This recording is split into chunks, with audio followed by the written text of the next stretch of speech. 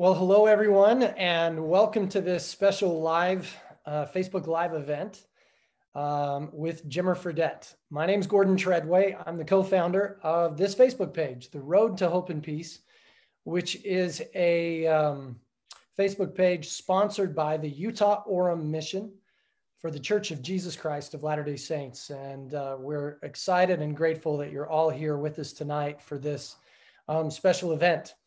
Um, it's uh, it's especially a treat to have Jimmer with us tonight. He was kind enough to offer to share his time and his testimony of uh, of spiritual things with all of us tonight. Let me just tell you just a little bit about Jimmer Fredette, and then we'll turn the time over to to him.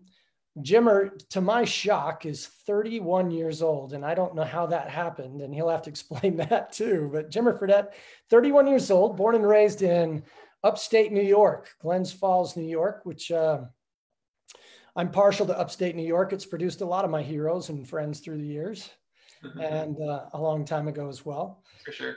Uh, at um, uh, he played college basketball at Brigham Young University in Provo, Utah, where he was a two-time NCAA All-American.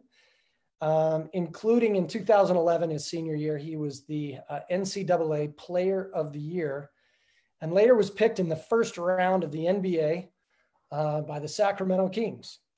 Um, it's a long story, but I was a season ticket holder when that happened in Sacramento, California. So I got a chance to to watch Jimmer up close, both in college and uh, in the NBA. He played in the NBA for five years, and uh, and since the uh, two, 2016 season has been playing professionally in uh, international basketball and is uh, has is kind. I like to say he's the he won't say this, but he's kind of the Michael Jordan of uh, of China right now. So uh, he's got his own uh, he's got his own basketball shoes as well. So, um, but I think uh, Jimmer will talk about it tonight. But more important to him than all of his success on the basketball court has been his success um, both spiritually and also as a family man. He's been married to his wife Whitney for I think five years now, Jimmer. Am I close? Close, eight. Crazy. Eight yeah. years. That, yeah. That's how you became 31, I guess. Exactly. Very, very quickly. Married to his, his wife, Whitney, for uh, eight years. And they have two children his daughter, Wesley, and his son, Taft, which, uh, for those who may be wondering for the next uh, trivia question, Jimmer's middle name is Taft. So, right. So that's kind of fun. But uh, we're grateful for his example as a good Christian and as a member of the Church of Jesus Christ of Latter day Saints. And again, Jimmer, thank you so much for being willing to take a little bit of time tonight from your home in Denver, Colorado to share a few thoughts with us. So I'll turn the time over to you. Thank you. Yeah, no, thank you so much, uh, President Treadway, or Treadway, for letting me be able to do this. This is an awesome page that you guys have started, and uh, you know I'm excited to be a part of it, and hopefully be able to to speak to everyone out there. I hope there's a you know I know there's a lot of missionaries, um, some investigators. I know there's some uh, some youth and, and, people in different wards out in Orem and uh, in different areas as well. So I'm very excited to be able to speak with you guys and and uh, be a part of this night with you. And uh, you know President Treadway came to me. Uh, a few weeks ago, and just asked me if I wanted to speak, and um, you know I thought it was a great opportunity to be able to do that. I love being able to to talking firesides and devotionals and different things to be able to spread my knowledge. I mean, I don't have as much knowledge as a lot of people do, but I have some life experience being able to uh, have lived all over the world and have uh, experienced the church all over the world and been able to do good things uh, for people and charity work all over the world, which has been really a fun thing for me. So, uh, you know, he asked me to to speak about why do I believe in the restored gospel of Jesus Christ, and uh, it's a great great topic. Um, but like I mentioned, I've done a lot of uh, firesides and devotionals before, but I want to take you back to the first time that I was at BYU, the first time that I did a devotional or a fireside at BYU. And uh, my friends and basketball teammates, Chris Collinsworth and uh, Nick Martineau, I was rooming with them in the dorms. They were both from Utah. You know, they both were, you know, familiar with the type of fireside that you know they give in Utah. Now I'm from, as Brother Treadway said, upstate New York, small town called Glens Falls. It's 14,000 people, and I was the only member in my high school. And you know there were people coming from you know, a couple hours to get to church, you know, if they wanted to. There just wasn't many meeting houses in the area. So when I heard of a fireside, when we went to firesides, there was literally like 15 people and it, would meet at a house and it would be fun. You know I mean? We'd have, we'd have some, some brownies and we'd have, you know, some drink and, and, and just kind of hang out and, and have a speaker, but it was like 15 people. So Chris and Nick, they came to me and they're like, Hey, would you like to be a part of our fireside? You know, that would be great to be able to tell your story and be able to talk about, um, you know, yourself and where you came from and why you were out to BYU and kind of your story. And I was like, perfect, sure, yeah, I'd love to talk about myself. That's not a problem. I have a great, I'll have a great time doing that. So I decided, yeah, let's do it. So, you know, we were talking that night, and I just mentioned to him, I was like, all right, so where's it going to be? How many people you think are going to be there? That type of thing. And, and Nick promptly said, there's going to be like probably 300 people there so. And I just like looked at him and like my jaw dropped. It's like, 300 people. What do you mean? Like, I thought it was a fireside and they're going to be like 30, 20, 30 people there. He's like, no, no, no, no, this is a Utah fireside. You know, everyone from the area comes and, uh, you know, all the members come, all the youth, and we're going to talk. There's going to be like 300 people. And I had never spoken in front of that many people before. so I was just like, I was like, oh no. I walked away and I was like trying to get, get my breath a little bit. And I was like, oh no, I, what did I get myself into? So I come back to Nick and I was like, okay, I got myself, I'm going to have to do it at some point. So I decided, all right, I'm going to ask you one more time. How many people are going to be there? He's like, there's probably going to be like three to 500 people. And I was like, whoa, whoa, whoa, wait a minute. You just went from three to 500 like in a second. And I was going to walk away again and like, get, um, you know, collect myself again. But I figured if I left and came back, I was going to move to five to 700. So I decided, no, I'm not going to do that. I'm just going to keep with the three to 500. I went to the fireside, overcame my fear, was able to speak to, to everyone and, uh, you know, had a great time and have been able to do very, very uh, many of many more since then. And I've hopefully gotten a little bit better in front of crowds and been able to do a lot more uh, of these. It's been a lot of fun to be able to do it. So I overcame my fear there, but you know, I was definitely, um, you know, a little bit flabbergasted with how many people were going to be there. But I know there's a lot of people listening tonight. But you know, firesides and devotionals, obviously, in the last couple of months have changed and I've been able to do several on Zoom um, with missionaries all over the world in Rome, Italy, and and in uh, in Germany, um, in all in Hawaii, in all different parts of the world, which has been an awesome experience for me. So there it is, and I'm glad to be here with you guys tonight. So um, you know, I'll just talk a little bit about kind of my story tonight and how I became how I became a member and you know why I believe it's important to me and the struggles that I've had throughout this process. So, like I said, I grew up in a family um, uh, of of five um, my mom, my dad, my sister, and my brother, uh, Lindsay and TJ. And, um, you know, my mom actually wasn't a member of the church, and she still isn't today. Uh, my dad is the member of the church, um, and he converted when he was 18 with his brother and his sister. And uh, he's been an amazing, uh, you know, example to me, as well as my mother has been. But my dad has been an amazing example to me about how to be a great member of the church. And, you know, even though my mom didn't necessarily go to church all the time, she used to come sometimes to sacrament meeting. She would always allow me to go to church. You know, she didn't have any problems with that. She loved what the church taught. She wanted me to go to church. So I did. So I used to go to church all the time. Um, but I, when I was younger, um, I was a little, I didn't know any of the kids in primary. I didn't know any of that. So before eight, eight years old, I actually like almost never went to primary. I'd go to sacrament meeting and then my mom would leave and I'd just leave with her and I'd go home. And uh, so I, I, did that for a while and I actually ended up not getting baptized at eight. I got baptized when I was 10 years old because at 10 years old, I was like, all right, I felt like I needed to, you know, I wanted to be there at church with my dad a little bit more. So I got baptized at 10 years old. Um, my dad baptized me. And then from then on, I decided I feel like felt like I needed to try to go for the three hours with my dad. So I started to do that, started to go for three hours, probably not every week, but I tried to do as much as I possibly could.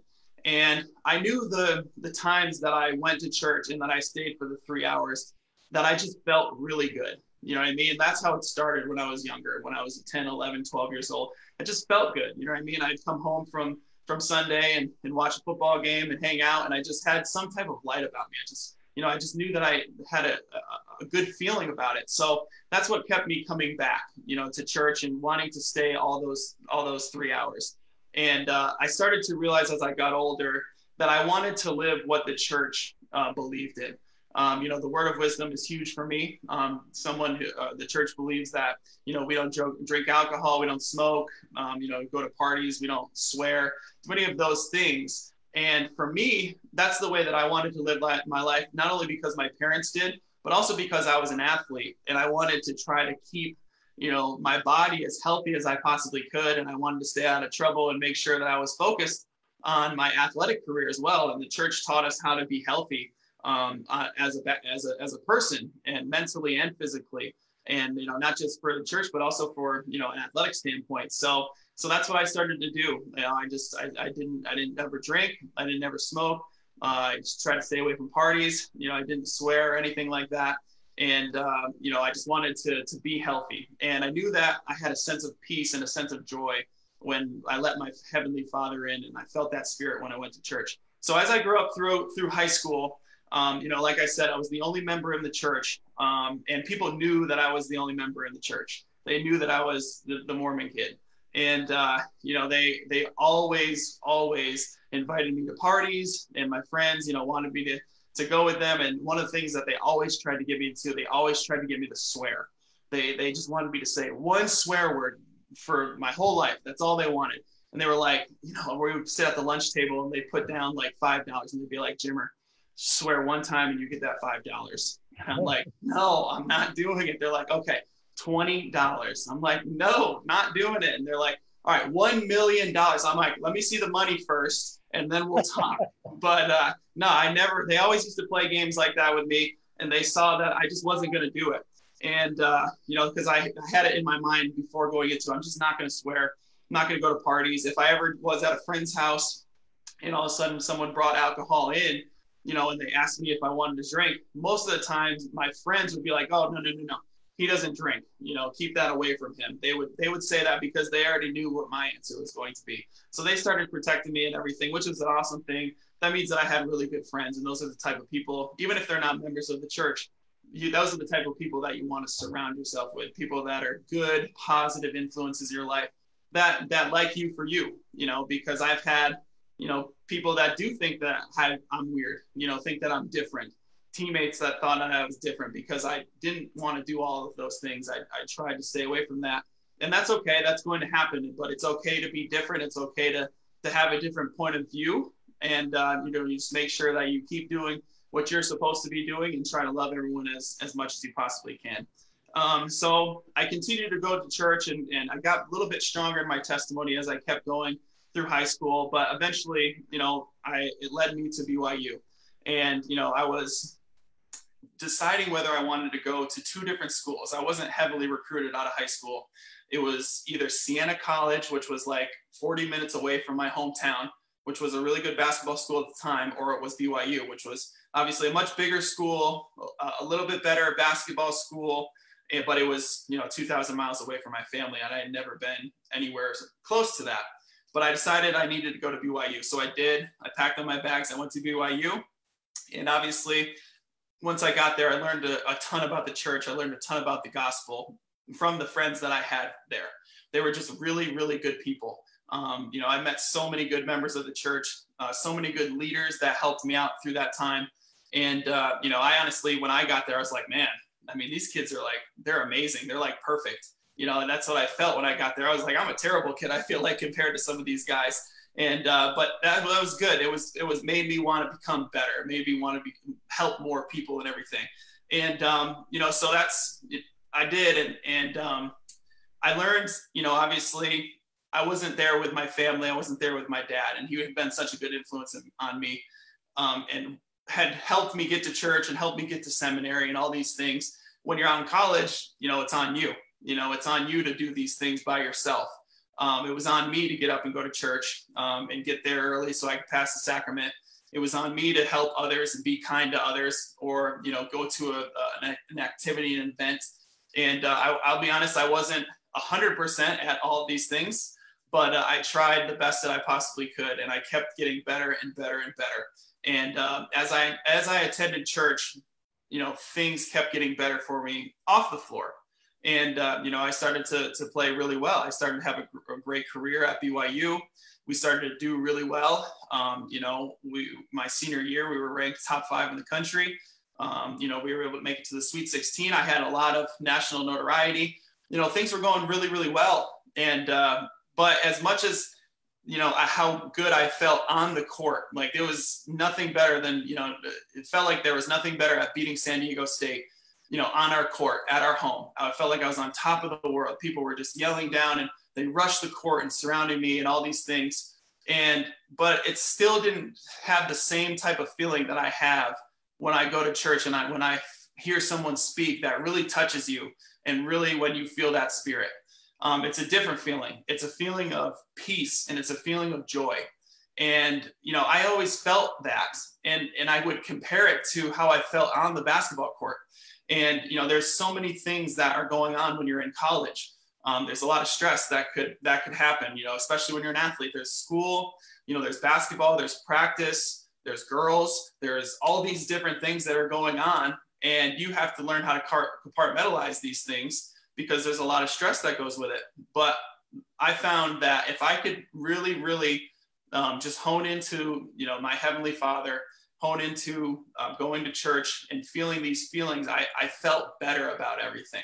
I was able to kind of just have a peace of mind being like, okay, you know, these things are important, but what's really important? You know, what's really important about being a good person, about helping others, about trying to be a good example for the kids that are watching me play basketball.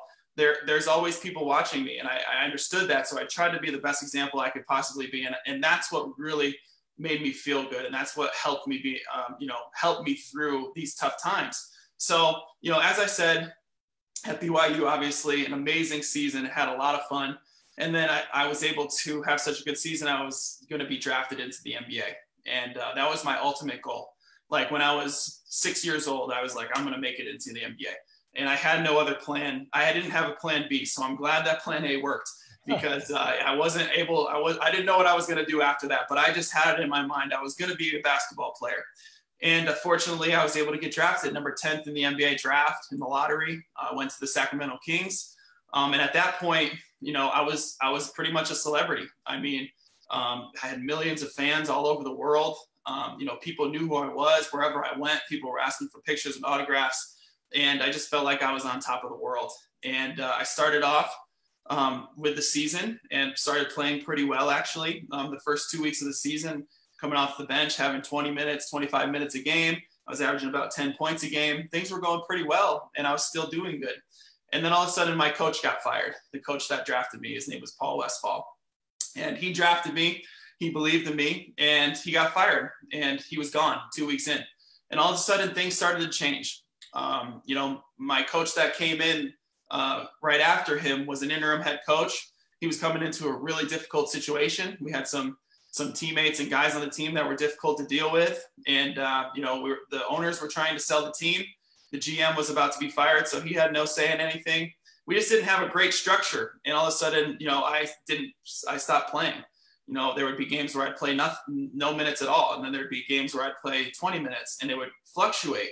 And that really played with my head at that time, you know, because I had never been through a situation like that.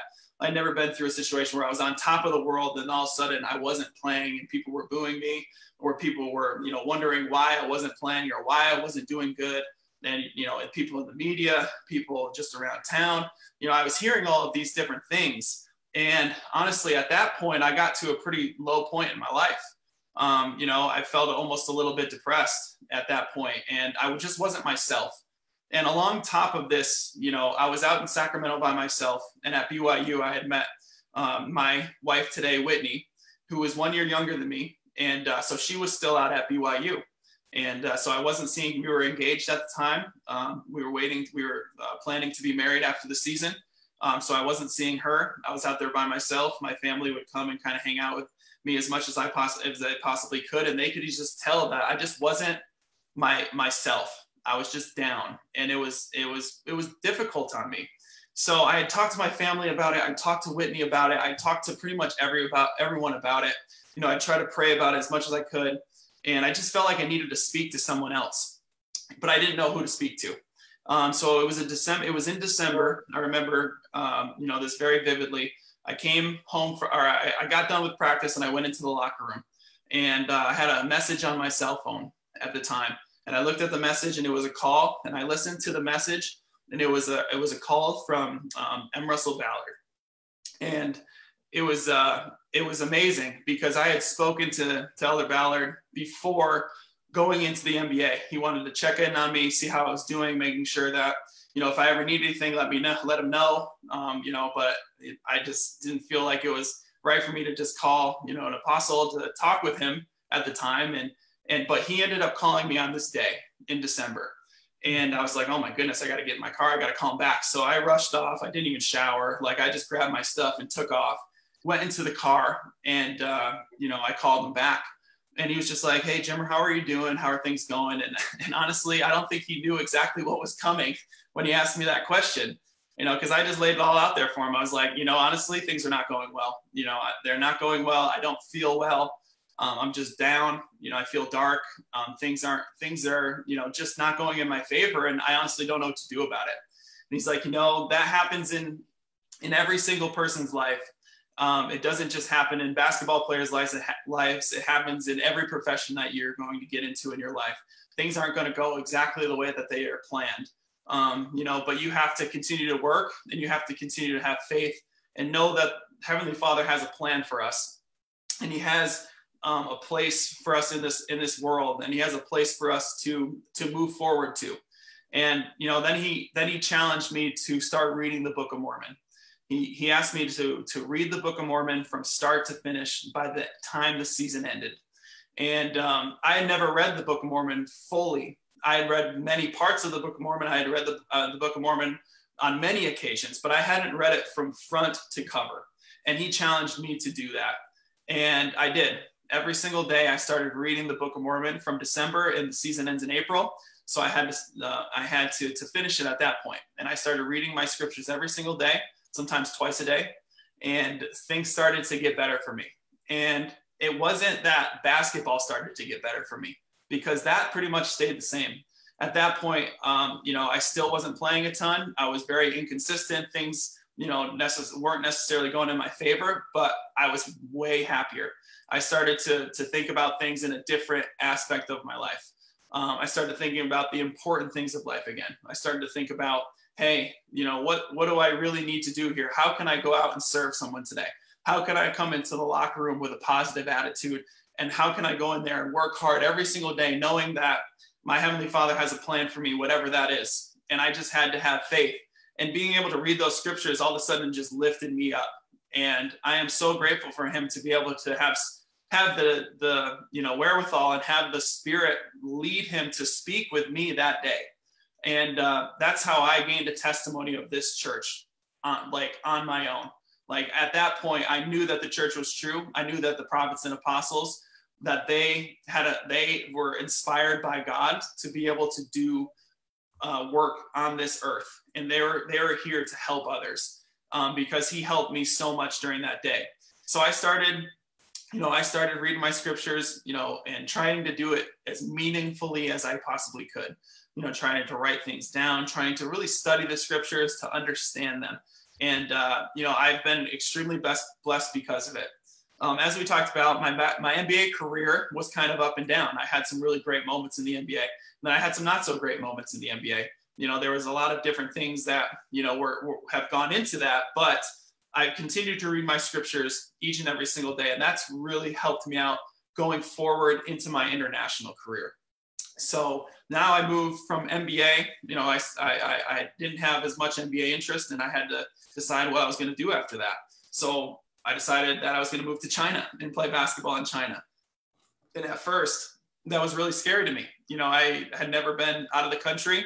You know, uh, my wife at the time was uh, was pregnant and we knew that and she knew we knew that she wasn't going to be able to fly over to China very often because of the fact that it was too far of a flight being pregnant at that time.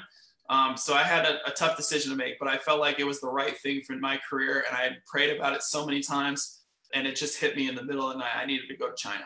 So I decided to do that. And uh, when I got over there, um, you know, things were, were really good. You know, I mean, obviously my wife wasn't there and that was very difficult. Um, so off the floor was tough, but on the floor it went amazing. I couldn't have asked for anything better. I was able to win the MVP. Um, you know, I got sh- a shoe deal, as brother um, Treadway said, and and you know I was kind of getting becoming really famous over there, and it was it just took me in a different path of my career that I never could have expected. But one of the things that I, I feel like it was best for is that people knew that I was a member of the church over there. And um, you know, the, when you're in China, you know, you can't. There, there is a there is a couple of branches in Shanghai that I was actually able to attend.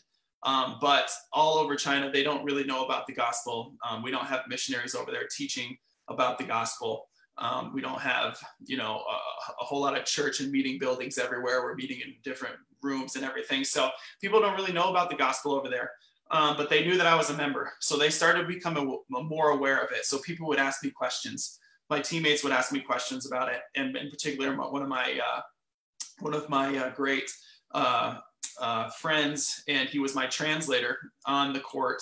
Um, he started to pick up on these things and he started to ask me questions um, just about the church and why he's like, why are you a nice guy? He's like, it's so weird. You know, when I look at you, you, I, you look so much different than all the other Americans that come over here. You have like a light in your eye and I don't know what that is. And they, and it was awesome to me to, that they could pick that up, even though that they didn't have necessarily uh, the knowledge of the gospel. They understood that I had the spirit with me and I made it a point to try to have the spirit with me at all times so that, you know, the people around me hopefully could be uplifted and he he actually picked up on that. He started asking me about questions, and a couple years later, you know, he was actually going to school in London, and he gave me a call on on WeChat, which is like our FaceTime basically, and uh, he called me on that, and he's like, "Hey, Jimmer, I just wanted to show you this," and he sends a pic. He he shows the picture, and the missionaries were right next to him, and he was over there, and he was getting the discussions by the missionaries over in in Great Britain, and uh, which was which was absolutely amazing. Um, he had read up on the church. He wanted to know more about the church. He had taken the discussions and everything. And, um, you know, hopefully he's on track at some point to become a member. We'll see. But uh, it was amazing to see that Teddy was uh, picking up on that. And that's the type of influence, you know, that you, you can have, you know, in this world. Um, people, you know, people are always watching you. People are looking and seeing. Um, they want to see what you're doing, um, especially as members of the church and just people in general. And you know, I think it's a, a, big deal for me and for for us to to go out and to be good people and to lead by example. Um, you know, it's uh, I'll tell you another quick story um, about about this. Um, so I when I was at BYU, there was a kid um, that was in Louisville, Kentucky, and he was uh, he was a really awesome awesome kid. He was a great basketball player. He loved basketball. He loved the University of, of, of Louisville because he was, you know, from there. But he started to watch BYU basketball at that time. And uh, he loved our team and he loved watching me play specifically. Um, he liked that I could shoot the long range shots. He wanted to be like that. He wanted to do it. But he didn't know much about BYU. But he started watching all of our games and he wasn't a member of the church. He, he just wanted to start watching all of our games. And uh, so he did, and he watched our games, and then he would watch the interviews afterward. He would watch me, he would watch my teammates, he would watch how all of us, you know, spoke so highly of our teammates, and you know that we were, you know, trying to be humble and, and good people. We were trying to, you know, congratulate other people. He was just impressed with how we handled stuff off of the court, interview wise, because we were being, we were such a good team. We had a, a chance to be arrogant if we wanted to, and uh, so you know, he was impressed by that. So because of it, he started looking up BYU. He's like, what is it about? Brigham Young University. Oh, it's a it's a, a church of um, you know Jesus Christ of Latter Day Saints. That's who it's affiliated with. It's like, oh, okay, that's amazing. I I don't want to I want to learn more about this church.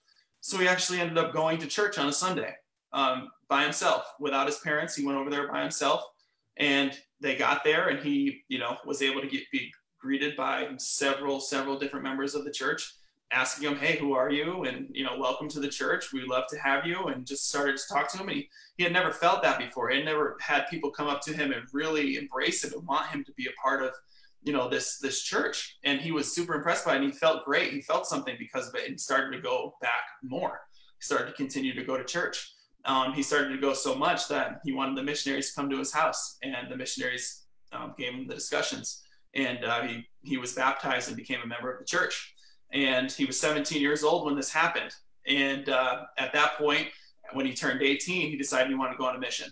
So he did. He went on a mission and he got called to Littleton, Colorado. Um, and he was in uh, was in church one day, and he met um, my father-in-law, Rich Wonnacott, who lives about 15 minutes from us. He was in church with Rich, and he introduced himself as a new missionary. Said, "Hey, Rich, I'm, you know, Elder Rafferty, and uh, you know, I'm from Louisville, Kentucky. I'm a huge basketball fan. Um, you know, they got speaking, and Rich is probably the biggest BYU basketball fan on the planet, and he's my he's a huge sports fan. He's also my father-in-law. So he said, "Oh, I'm a huge basketball fan. I'm a BYU Cougar." And he's like, "No way, you're a BYU Cougar." He's like, "I used to love Jimmer Fredette. I used to watch him play all the time." And Rich was like, "Huh, interesting. You love Jimmer Fredette?" He said, "Well, I know him." He said he's my son-in-law. And Elder Rafferty was like, "What? Are you serious?" And uh, Rich called me up that night. He said, "Hey, uh, hey Jimmer, would it be okay if you came over to uh, to my house for dinner tonight, you and Whitney? I have a surprise for you." And I said, "Okay, that would be great." And uh, so I did. We went over there, had a good meal, and all of a sudden, the missionaries came to the door, and uh, you know, Elder Rafferty was there, and he came and he shook my hand, and he just started to cry. And because of it, I did. Of course, I was like, "What? You, what's going on?" And he persisted on telling telling me this story about how you know he was so touched by myself and by my teammates that he was converted to the church and now he's on a mission trying to spread the gospel because of how he felt because uh, he wanted other people to feel the same way that he felt. And I, it was such an emotional nice night for me knowing that i was able to help someone even though i didn't know who they were and i didn't i had never spoken to them i just had tried to be a good person try to be a good example, try to live the, the gospel of Jesus Christ because I believed in it. And because of that, people gra- gravitate towards that. People gravitate towards, you know, the light, um, especially if they're seeking for it. And there are a lot of people out there that are seeking for it. And uh, so that's that's one of the many things that I learned. And uh, so I continue to try to be the best person that I can possibly be um, each and every single day. And that's the thing that is that is most important to me. And I'm not perfect even by a long shot. Um, you know, I, I, I, just, I just know that these things are true. And um, so, you know, after, you know, I met with Elder Rafferty, it was amazing. And I had such a great experience there. And, you know, I was still over in China and everything. And, and I was able to, you know, meet, reach some people in China, which was awesome. And I had an amazing uh, amount of members that were over in China that helped me through that process. And, help me meet other people. And, and, we tried to do the best that we possibly could over there. And, and the cooks, actually, they're listening online right now. They're in, they're in Pleasant Grove listening. So hello cooks, good to see you. Hope you guys are well. But uh, they were over in China with me and now they're back. So, um, but you know, I just, it, I was able to, because of this, start a foundation here in Utah. And, um, you know, this foundation is all about trying to spread kindness. And we have an anti-bully campaign in, in, in these school districts and, um, you know, this is for me what it has been all about. It's been all about trying to give back and trying to help kids become, feel included, try to help kids feel that kindness. And if we can get kids to feel kindness and then spread that kindness, then we're all doing our job. And, um, you know, that's what Christ did when he was on this earth.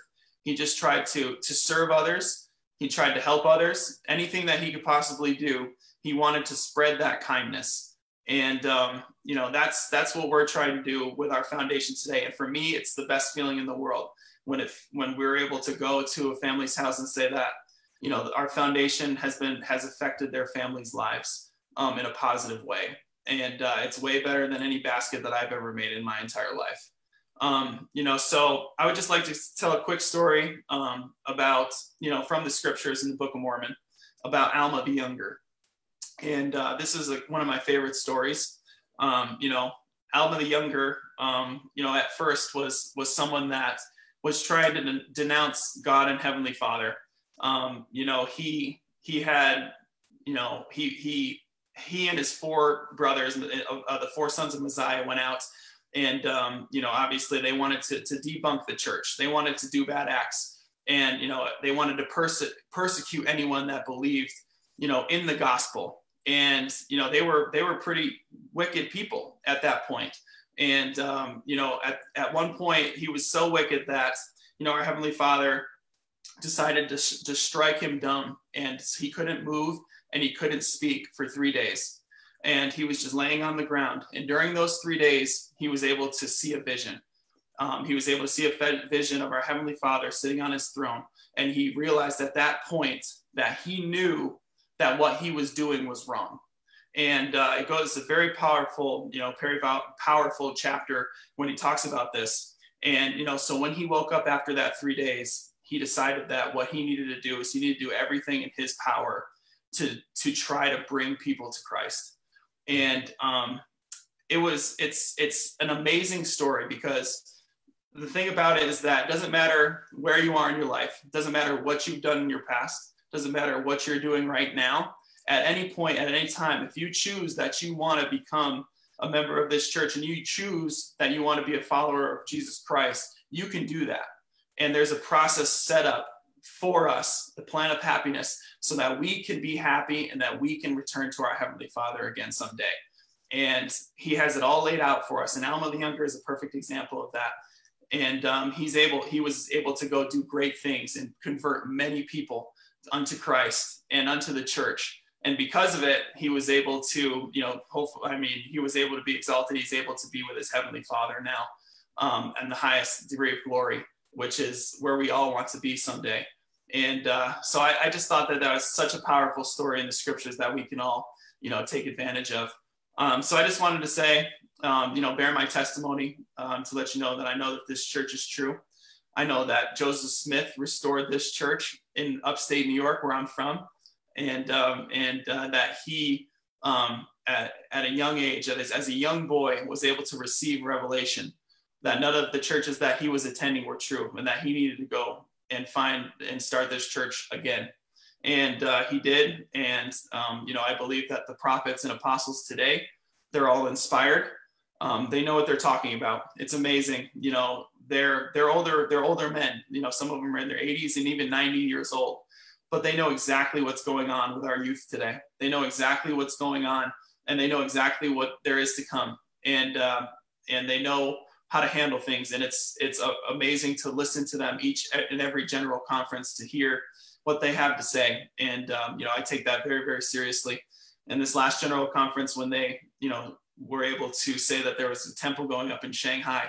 That was one of the greatest um, experiences that I've ever had um, as a member of this church, playing over in Shanghai, China, and knowing the people there and knowing what they need. Um, and they need the, the gospel more, you know, just as much as all of us. And uh, this is a great start to be able to have that. Um, so I know that this church is true. I'm grateful for it. I'm grateful to be a part of it. And, um, you know, I just wanted to say these things in the name of Jesus Christ. Amen. Amen. Well, listen, uh, Jimmer, that was magnificent. Thank you so much for those stories and for your testimony of, of God and Jesus Christ and the gospel. Um, for those of you watching, and by the way, Jimmer, I don't know if you were nervous, but uh, we have about 1,200 people following this live Thanks. right now. It. So a little bit more than a Utah fireside. A little bit more, yeah. It's even more. This is great. This is one of the biggest I've done then. Good, excellent. Well, you've played in front of a lot bigger crowds, but That's for sure. I know it can be a little bit different. But for people out there who are watching, if you, uh, we've got a few more minutes. Jimmer has been kind enough to offer to stay on a little bit longer and answer some questions. And so, if you're um, if you're watching this now, feel free to just uh, put a comment on the Road to Hope and Peace stream. We have responders watching for your questions, and we'll try to answer as many of them as uh, as we can. Um, Jimmer, I got a, I've got a few questions myself. Sure. Um, I, I really enjoyed your story about how in, in high school, your your friends, your your buddies in high school would offer you money to swear, and uh, I you know that it, as you probably know that goes that goes on uh, sometimes late into our adulthood. I uh, I remember one time in the corporate world, someone offered me five hundred dollars cash, and pulled the cash out if I would have a beer. and uh, yeah, it wasn't tempting, but it was flattering. Right, right. I'm just wondering, as you got into real cash and around people who um, who may not have at all understood your standards, if that kind of temptation continued in the professional basketball world? Yeah, for sure. I mean, uh, it got it, it got to the peak when I made it to the NBA. Um, you know, especially when I was a when I was a rookie, um, coming from BYU. Obviously, most of the people were members Um, a lot of my teammates were married. I probably had six teammates that were married and had kids. And, you know, I went home and just kind of hung out with my, my roommates and my, my girlfriend, Whitney at the time. And we all had pretty much the same values, you know, there, and uh, you kind of believed in the same thing. We're all, you know, uh, abiding by the honor code that's at BYU. So we didn't really have a ton of temptation um, you know, as far as hourly there, most of the time we were pretty much in, in collection. But then when I got out to to be uh, to Sacramento, it was completely different. And uh, you know, I mean, I can tell you just a quick story, real quick. Um, when I first got to to Sacramento, we went and we played in uh, the summer league in Vegas, and uh, our owners at the time were the Maloofs, and they were the owners of the Palms Hotel. And uh, so we got to the Palms Hotel, and that's where we stayed. And the first night that we got there, they said, um, we, you know, as a part of being a Sacramento King on this team, we want you guys to come up to the Playboy Mansion that's up in the very top and be able to promote our alcohol that we have because they just opened a new alcohol. And uh, at that point, I was like, oh man, everyone was like super excited. Like on the bus, they were cheering. They were like, yes, this is going to be great.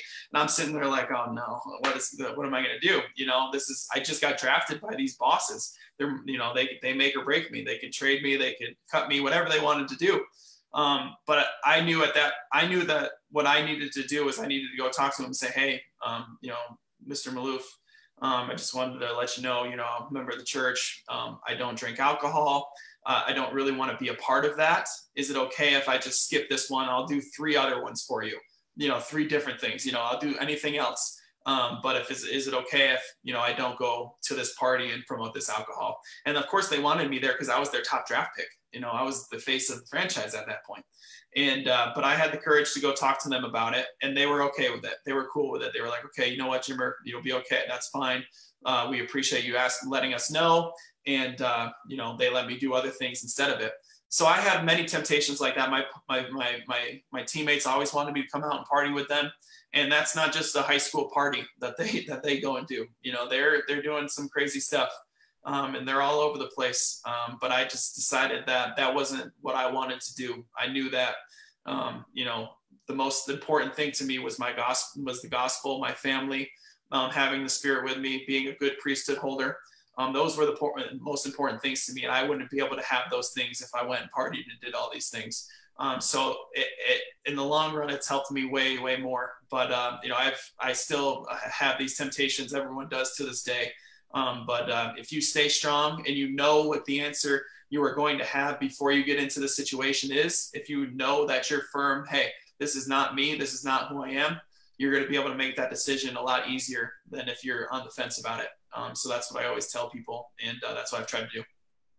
So I love that. Thank you for that answer. And and Jim, we've had a we're getting a ton of questions coming in. Folks, just keep them on. We'll we'll do yeah. our best one of the questions I've seen come through several times is as a professional athlete, um, it, it, requires you to play on Sundays, which could interfere with your desire to worship and so forth. I remember yeah, when yeah. you were in Sacramento, yeah. your your dad attended church in my ward, yeah, uh, which was just about a mile from Arco Arena. So, um, how how have you been able to balance the challenges of a career that pulls you away from the worship and the the service that I know you'd like to do?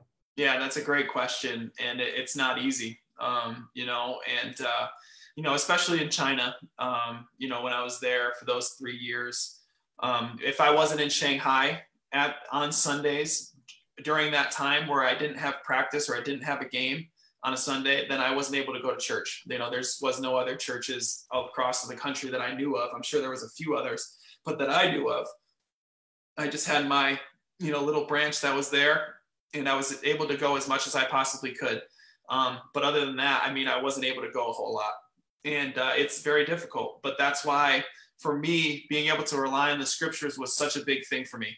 Um, you know, it didn't matter um, what day it was, but specifically, obviously, on Sundays, I tried to, um, you know, take time out of my day to make sure that I read the scriptures a few times that day, that I try to listen to something good you know, I tried to listen to some type of talk or I tried to listen to some type of music that was uplifting or try to just think about things that were, you know, think about our Heavenly Father, think about good things.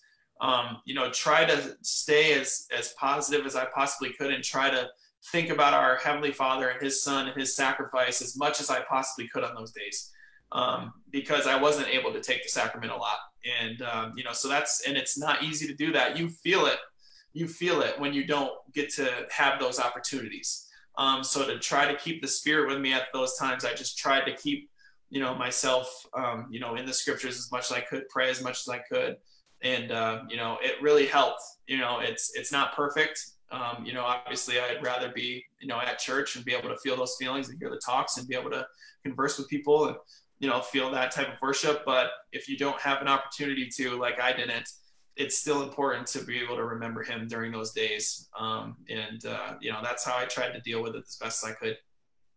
I think that's, that's the way to do it because we all have to just try to stay motivated, stay close to God, especially in the hard times. And I, I want to ask you a little bit more about some of the hard times um, because you're you're a great example of someone who's been at the top of the mountain um, in in college and in the NBA. I remember the day after you were drafted that they had this huge crowd at the airport to welcome you to uh, Sacramento International, and uh, and then six months later you're you're really uh, uh you're buried at the end of the bench, and the negativity came in. Now, a lot of people are dealing with some things that they didn't plan on right now, right? Everybody's dealing with a pandemic and, and racial uh, unrest and some of the difficulties that are going on in the country.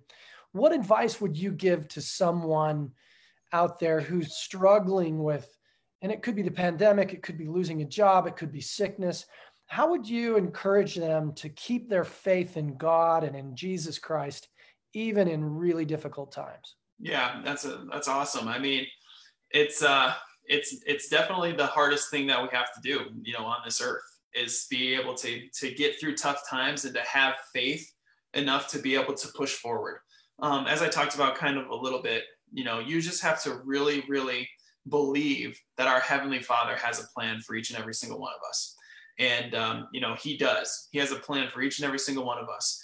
And if we have that type of faith and that we take things in stride as best as you can, um, you're going to come out on top and you're going to be able to fulfill and reach whatever it is that our Heavenly Father has planned for you. So, for example, for me, um, you know, I was in, you know, I was in the NBA and I thought I was going to be an NBA superstar. You know, I thought I was going to be great and it didn't happen. And, you know, they basically, I got my last season, I got cut by San Antonio and they said, we don't want you anymore. It's the first time I ever got cut by a basketball team in my entire life. Hmm. And uh, they cut me and they were like, okay, so now what am I going to do? You know, I was a little bit down. I was like, all right, I got to find a new path. Um, and, you know, I decided to go to China. And I said to myself, you know what? There's one of two way- things that I could do here. I can go to China, I can mope, I could whine, I could not, you know, worry about anything. I'd go over there, just collect a paycheck and get home as quickly as I possibly could. Or I could go over there and immerse myself in the culture. I could be kind, I could be good to my teammates, I could be, try to become the best basketball player that I could possibly be and be one of the best basketball players to ever go over in China and play. I could go one of those two roads. And I tried to go the, the road of trying to be the best basketball player, the best person.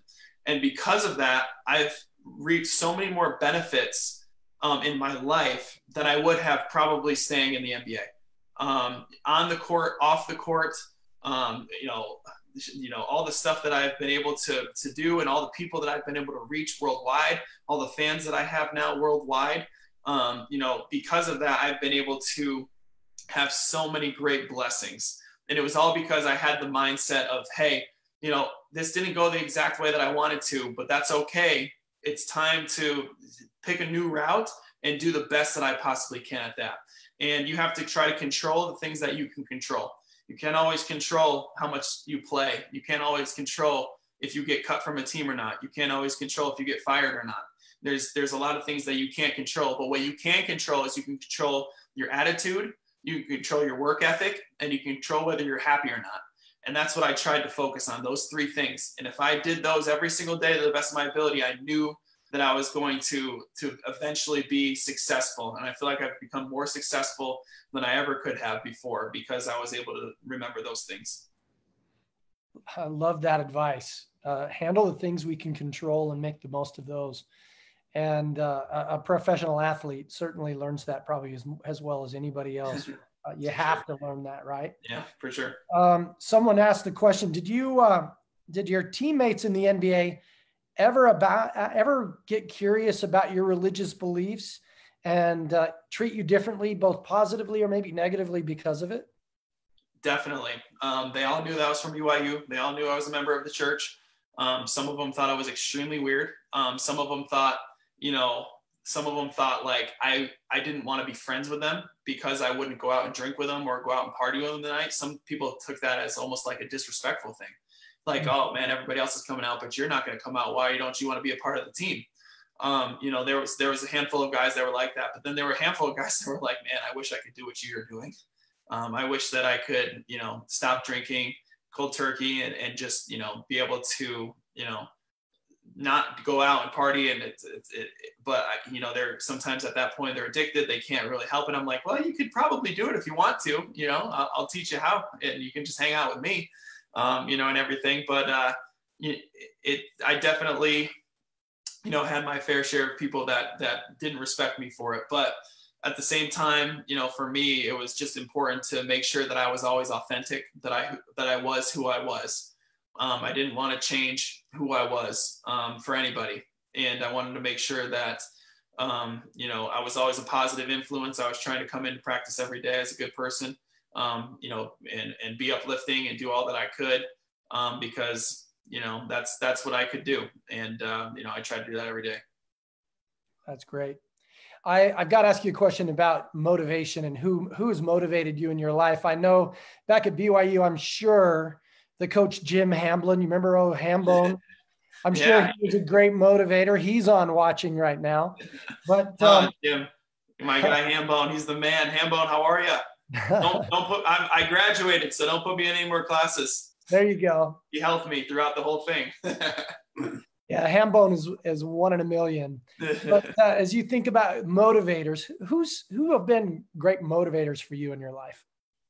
Yeah, that's a great question. Um, you know, my brother was always a great motivator for me. You know, he always tried to uh, make sure that I was trying to reach my potential. Um, he saw it at a young age that I he thought I could be a really good basketball player, um, and uh, you know, he really worked with me every single day to, to become better. And because of that, I saw myself getting better. And then I had an internal um, motivation that like I wanted to do this because you know this was my goal. And uh, but he helped me believe in myself. And then you know my dad was the person that you know motivated me to be a better person. Um, you know he was a guy that you know he was he's still a member of this church. He's had every single calling you could possibly have in this church except for bishop because our my mom isn't a member but he's had every single calling. He helped grow the church in our area, literally grow it from a cornfield where they used to meet to having a church building and, and doing all these things. Mm-hmm. And uh, which that motivated me to be a good person because he believes in it so much and he knows that it's true. And I saw that every day and I saw people come to him for problems. And uh, so that motivated me to be, to be a good person.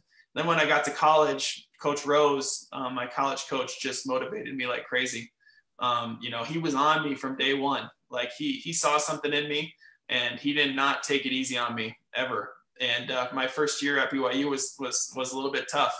Um, you know, he didn't play me necessarily as much as I wanted to right away, um, but he always was in my ear. He was always pushing me um, because he knew that I could be really good. And uh, if he would have taken it easy on me and just let me do what I wanted to do right from a young age, I wouldn't be where I am today. Um, so he for sure motivated me and helped me get to to to where I am, and and uh, so I'm grateful for him for that. Um, we got the question here. I think is pretty interesting. You know, someone wants to know, can you describe the work ethic and dedication it takes to be a professional athlete, and maybe how that plays a part in your own spiritual growth in life? Yeah, no, that's a great question. Um, yeah, it's uh, it's really a different level it's a different level of work. Um, you know, as far as a as a professional athlete goes, um, there are a lot of amazing athletes out there. There really are, and they're basketball players. I mean, there's hundreds of thousands of great basketball players out there, and um, all over the world. It's a world game now. It's a global game, And uh, to be one of the 350, 400 guys that are in the NBA, um, you have to have a different mindset. And uh, that's what I always had. I felt like for me, it didn't necessarily start with my skill set. It started with my mental capacity. Um, you know, I true, like I said, I did not have a plan B. I truly believed that I was going to make the NBA, and I made my goals every single day, all you know, every single year to see myself moving in a direction to get to where I wanted to be, as being in the NBA. Um, you know, so I would put it up. I'd I'd write my goals down, and I'd look at them every single day, and I'd say, all right, this is what I need to do. If I can accomplish this, I'm one step closer to making it to the NBA. Um, and you know, I would work for it every single day. Um, you know, relentlessly. Um, I'd go out and shoot. I'd go out and play. I'd go out and, and uh, I'd condition. I'd lift. I'd run. Um, I do all these things. Um, and I, I, I, heard a, a speaker the other day on a podcast talk about he, he's not even a, he's not an athlete at all. He's a, he's CEO of a company, and he said the greatest people at their um, at their profession, what they do is when times get tough and when you feel like you don't want to do something, you push harder that day. You push harder than you think that you possibly could. And the great ones do it. The great ones are like, all right, I don't feel good today. Um, you know, I bet I just need to take a day off. You know, I just need to to to go out and, and just have a real light day. Most of the people in this world, that's what they're gonna do. But the great ones, they say, no, no, no. I feel this. I feel that I'm not doing well. I feel that I'm that I have low energy today. It's time to ramp this up because I know if I do that, that most of the people aren't doing that. And uh, so that's that's the type of mentality you have um, at, for me at least as a professional athlete. Um, you know every single day like this this is the pandemic has been a perfect um, example. Um, you know for the last five months you know i've been home in denver and uh, i've been just working out. I, I have a i have a key to the gym at the stake center and uh, my my stake president told me that i can get into the gym if i go in by myself and uh, wipe it down afterwards. So I go to the gym by myself. I've been going for five months by myself every day, just me and a ball playing basketball, trying to get better. And that's really, really difficult to do by yourself for five months without anybody else in the gym and to really feel like you're getting better as an athlete. Um, so, yeah, those are the type of things that the, the best players in the best professions, the best professionals and whatever they, they're doing, that's what they do.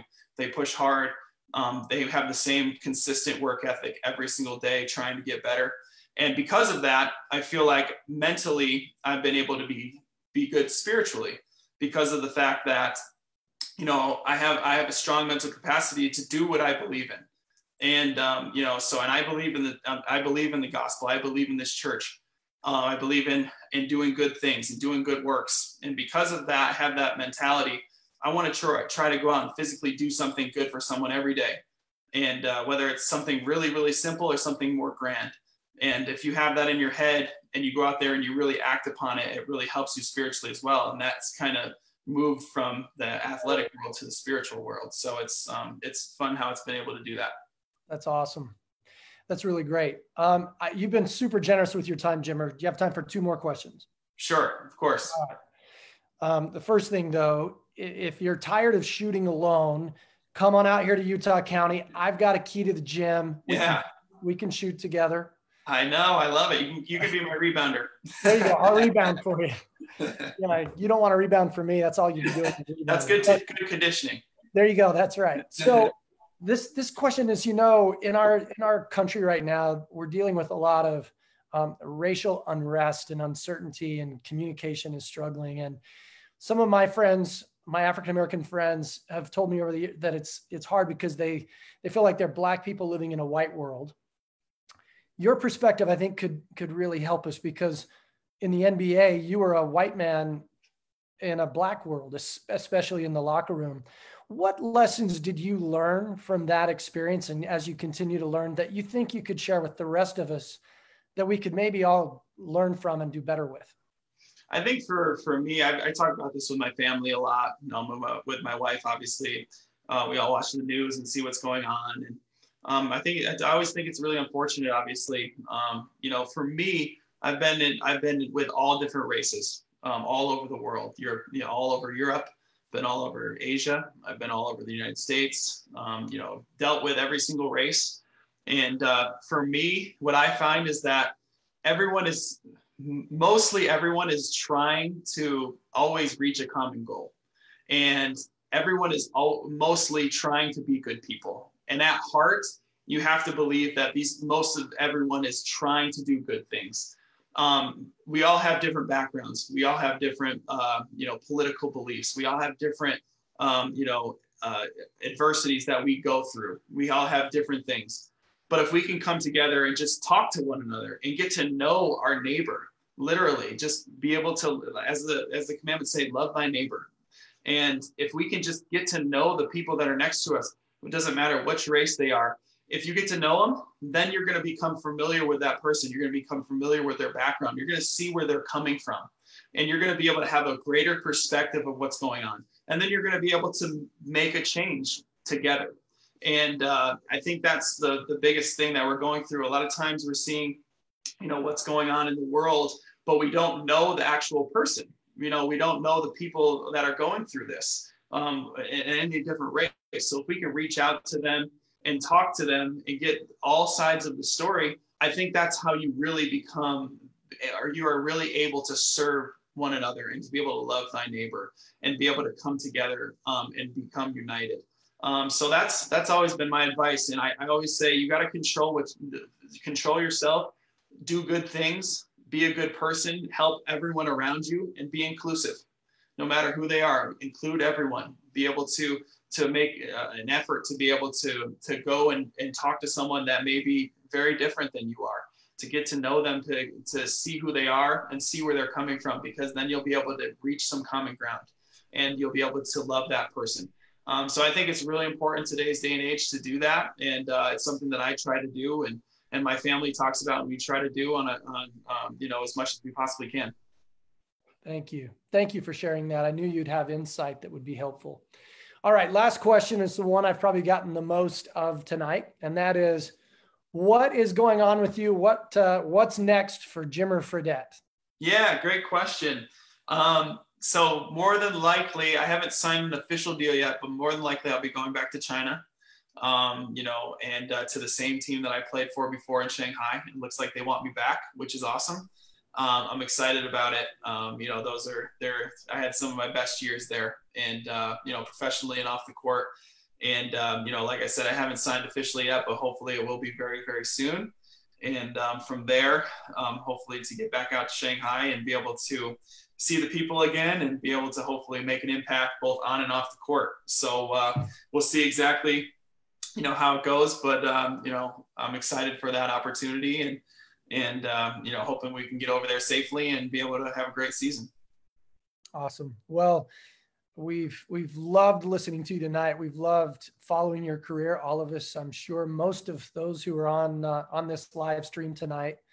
Uh, I know we've all benefited from from your your experiences, your stories, and your wisdom that you've shared with us. And uh, and most of all, we've benefited from your faith mm-hmm. and your willingness to share your testimony with us tonight. So, Jimmer, from the bottom of my heart, on behalf of all of the missionaries in the Utah Orem mission, at least, I know we we're just thrilled and grateful that you were there. Uh, you were willing to come on with us tonight. Uh, I also want to thank everyone else who um, who participated, who made this happen. For those behind the scenes who were responding to questions and helping people who were on. We had over 1,200 people. I think was was the highest mark that I saw. So a lot of people following us tonight. We uh, we hope that you enjoyed this uh, presentation on the road to hope and peace. And we hope, if this was your first time to our site, that you'll like our page, you'll follow our page, and uh, and you'll share our content with your friends and your neighbors and those who would benefit from our message of hope and peace and faith in these difficult times. So, Jimmer, we uh, again thank you one last time. You're a great man, and we wish you all the best. If there's anything we can do for you here, um, well, let us know. Yeah, thank you so much. I appreciate it. Um, you know, Brother Treadway, and thank you for everyone for listening. And um, you know, maybe I'll be out there in Utah soon. But thanks a lot. We'll talk to you guys soon. All right. Thanks a lot. Have a great night. Thanks. You too.